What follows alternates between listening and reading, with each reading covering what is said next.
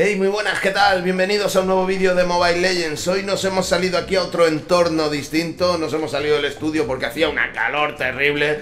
Y digo, vamos a salirnos fuera al Gaming Center, que tenemos recursos, tenemos la arcade, tenemos aire acondicionado y tenemos de todo para sentirme aquí a gusto, porque el vídeo de hoy me apetecía estar a gusto y comentarlo con ustedes a gustísimo. Así que, bueno, vamos allá. La verdad es que este fin de semana nos lo hemos pasado estupendamente, ¿no? A mí, francamente, me ha sorprendido Montún. El primer día hicimos directo, ayer domingo era día familiar, no pudimos hacer directo.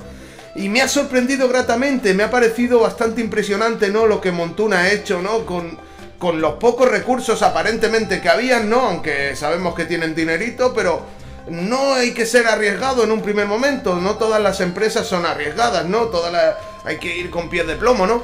Y Montuna ha hecho una cosa bastante guapa, dentro de sus fallos, dentro de su lag, dentro de algún error que siempre se tiene porque es algo habitual, hubo alguna parada, de hecho en la final hubo un, un cambio de stream y tal, porque parece que les dio un error. Pero bueno, estuvo dentro de lo aceptable, a mí me gustó mucho, fueron bastante alegres, bastante rápidos y, fluidos los casters, eh, hubo gente ahí animando, hubieron juegos con los seguidores, con la gente que estaba allí. De hecho, estuve muy orgulloso de Montún con el evento que hizo este fin de semana, sí, muy orgulloso. De hecho, de aquí a unas cuantas semanas tenemos otros torneos, tenemos el de Singapur junto con los otros tres países que conforman estos cinco países que han hecho esta zona asiática. Y bueno, vamos a ver qué sucede, porque la verdad es que pinta muy muy bien. Seguro que muchos estáis diciendo, Maca, esto que vimos ayer no era una cosa del otro mundo, no es para sentirse contento, esto era una mierda comparado con lo que se ve en otros lados. Bueno, os voy a poner unas imágenes para que veáis un poco la comparativa, no vais a decir, ¿qué coño es esto, Maca? ¿Qué nos estás poniendo? Bueno, pues estos son las imágenes de los primeros torneos que montaba Riot en aquel entonces. Los primeros torneos, los primeros mundiales, y fijaros bien que la calidad, bueno, era el primer año y fijaros bien cómo eran. O sea que aún aún Montún ha avanzado mucho más que, que Riot en el primer año. Y fijaros ahora lo que monta Riot. Ahora mismo es espectacular de la muerte. Entonces hay que dejarle trabajar a esta gente, hay que dejarle, hay que confiar en ellos, porque hemos visto de lo que son capaces, lo hemos visto ayer. Y respecto a la repercusión que puede haber tenido este torneo de cara a la parroquia exterior, a la gente que conocía poco a Mobile Legends, a la gente que no lo conocía, a la gente que lo estaba observando con lupa, ya sabéis, esta gente que está ahí atenta a ver si sucede algo raro. Sí, ya lo sé, sé que queréis que los nombres, sí, esos vainglorieros que ayer estaban metidos en la cueva. No salían, no decían nada. ¿Dónde estaban? La verdad es que si algo caracterizaba a la comunidad de era que decían que su juego tenía participación de deportes electrónicos, que tenía equipos que, que jugaban torneos de miles de euros. Bueno, pues estos chavales ayer se llevaron 5.000 euros, ¿no? ¿Qué pasa ahora? Es una mierda, lo sé. Son 5.000 euros eh, tiene que ir acelerándose, arrancándose la cosa, pero ahora mismo, en daros cuenta, os pilla el toro, ¿no? ¿Ya? ¿Qué pasa? Yo me quiero imaginar, bueno, vamos a hacer ahí una suposición, una divagación, así. Me gusta mucho este tipo de ejercicios, ¿no? Yo me quiero imaginar la casa de Tim Solomid ayer, ¿no? Suponer, seguramente no sea verdad, no sea nada de lo que voy a decir, pero vamos a hacer un trabajo de imaginación. Tim Solomit, Reginald, uno de los fundadores, allí en su casa tomándose un pisco labi bien fresquito en su mansión o en su casita, en su casa guay que tienen. Y allí, y mirando el móvil por allí, dice, coño, ¿esto qué es? Mobile Legends. Ah, este es el juego chino ese que de mierda que lo denunció Riot. Espera un momento. Ahí va. Pero si están jugando un torneo y, y hay casters y... Espera, ¿5 mil dólares en premios? A ver. Voy a coger la calculadora. 5 mil dólares. Pero claro, es que estos chavales. Tú fíjate lo que. 5 móviles y a correr. Esto gasto no tiene ninguno. Fíjate, además, si mira la gente, si está sentada en el suelo. Si no. Esto gasto ninguno. Los torneos. Oye, pues que a lo mejor no me desagrada la idea de, de llevarme un equipo de Mobile Legends en Team Solomit. Vamos a hacer otra retrospectiva, vamos a acercarnos más por aquí, por la zona española. Un ocelote, un ocelote que todo el mundo lo conoce, es el director de G2, es el dueño de G2.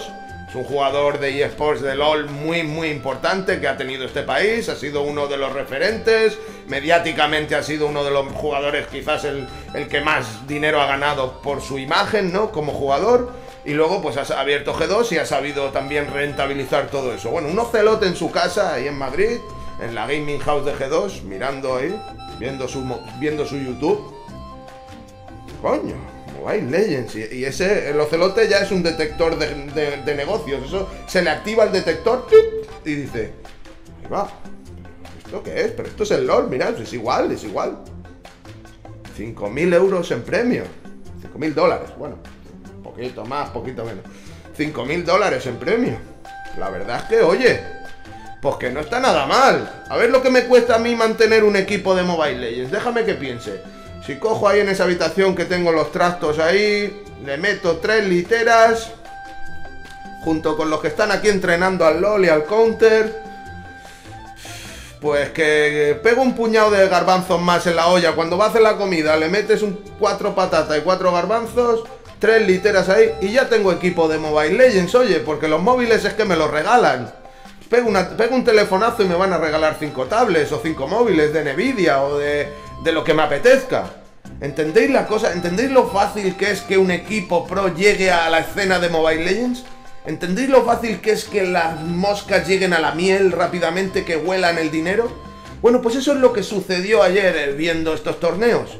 Es el comienzo, desde luego, lo decía yo por los grupos, esto es solo el comienzo, lo mejor está por llegar, claro que sí. Hay mucha gente que está viendo esto con sus ojos. Había gente que estas semanas atrás decía, no, Mobile Legends lo van a cerrar, lo van a... Va a tener que pagar, de hecho, eh, seguro que en, la comidilla, ¿no? De esa gente de Vainglory o de muchas otras comunidades, pero sobre todo de la de Vainglory que nos tiene especialmente rabia, ¿no? Estarían ahí diciendo, va, tal, eh, torneos, no puede ser, ¿cómo van a dar 5.000 euros? Tiene que, multa, la multa, un, dos, tres, cuatro, cinco millones, 6 millones de euros, 20 millones, ojalá Riot los hunda. Están deseando eso, están deseando, no digo todos, la verdad es que habrá gente de Vainglory que también le guste Mobile Legends, que compartan juegos y que le guste y que no quiera el mal para nadie, pero hay gente de la comunidad de Vainglory, gente, me refiero a la comunidad, porque dentro de su grupo, os voy a explicar un detalle, dentro de su grupo hay gente que es comunidad y hay gente que no, o sea, puede haber jugadores de Vainglory que no se ha considerado comunidad, es como una secta, ¿sabes? Tú no eres comunidad. ¿Por qué? Porque como tú no te involucras, tú tal, tú... No, no, yo hasta donde sé, cualquiera que juegue a un juego es considerado parte de la comunidad de ese juego, ¿no? Pero dentro de Vainglory hay otras reglas y hay otras cosillas, ¿no? Entonces tú juegas a Vainglory, pero no eres participativo, no entras dentro de nuestro corrillo, de nuestro juego, no eres comunidad, fuera. Pero bueno, esa gente está haciendo fuerza a ver si hunde Mobile Legends, a ver si, a ver si llega Riot y lo hunde. Ese día que salió la noticia de que Riot había denunciado a Mobile Legends, ese día alguno hizo una fiesta.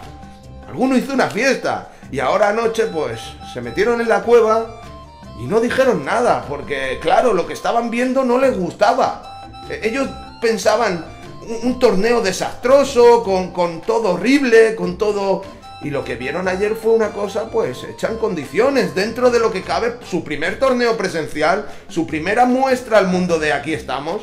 Fue una cosa muy respetable, una cosa muy bonita lo que vimos. Muy al estilo asiático, ya sabéis, Indonesia, el juego, pero yo me lo pasé genial. Con los casters me reí, pese a no entender nada. Eran casters que te reías, eran animados. La final fue guapísima, como la casteaba en Italia. A mí me encantó. Y todo esto va a llegar a España, va a llegar a Latinoamérica, va a llegar aquí a Europa, va a llegar a todas las zonas del mundo. Entonces la gente de otros juegos que está mirando a Mobile Legends como un juego chino de mierda, que yo siempre lo digo por Twitter, no, no, Mobile Legends para vosotros es un juego chino de mierda, no le hagáis caso, ni le tengáis en atención, pasad de él. Bueno, pues toda esa gente que lo tiene como un juego chino de mierda, se va a llevar una sorpresa, se va a llevar una sorpresa con el paso del tiempo. Y no van a hundir a Montún. Montún tiene billetes para responder y los juicios van a ser largos y tendidos. Van a, va a haber mucho tiempo para, para debatir si esa planta te la robé o aquel personaje se parecía o al otro. Montún está haciendo su trabajo. ¿O acaso porque han cambiado el nombre a Jun Sao? ¿Porque se parecía a Chin Sao? ¿Acaso porque le hicieron el reward visual a Tigreal? ¿Porque había cierta similitud con Garen? Pues sí, puede ser. Pues mira, ahora ya no. No preocuparos, el juego va a ir avanzando, el juego va a ser muy grande. El juego va a ser como un Clash Royale a la larga. Este juego vais a verlo así de fuerte. Y desde luego que llegarán estos torneos y los vamos a ver aquí en nuestro país y posiblemente sea yo quien te dé el cheque cuando tú participes. Posiblemente cuando tú estés jugando y ganes ese torneo, sea el Maca que te dé el cheque.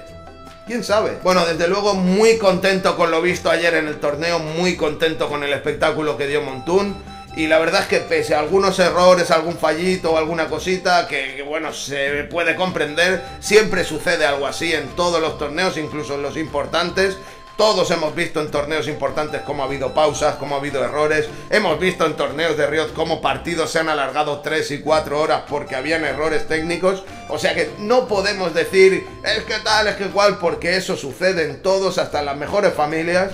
Así que para mí, lo de ayer, lo de fin de semana, lo que pudimos ver fue una cosa maravillosa y fantástica. Y desde luego que mejorará, claro que mejorará, y vosotros lo vais a ver. Y muchos se van a enrabiar, sí, muchos se van a enrabiar. Con lo visto ayer ya la gente ya decía, coño, al final va a ser verdad que Montun no es una empresa de mierda. Al final va a ser verdad que Mobile Legends no es un juego de mierda, pero fíjate la que han montado ahí en un centro comercial. Por cierto, final estupenda, final increíble. Yo apostaba por E8, era mi equipo preferido, pero bueno, al final no pudo ser. Zane se llevó la victoria al mejor de 5, 5 partidas súper emocionantes. Y bueno, ahí vimos en la final un Roger, vimos Minotauro, vimos Fanny, vimos a de Carries, Carry y Clean, que fueron dos a de Carries casi todo el torneo, aunque hubo algún Bruno y tal.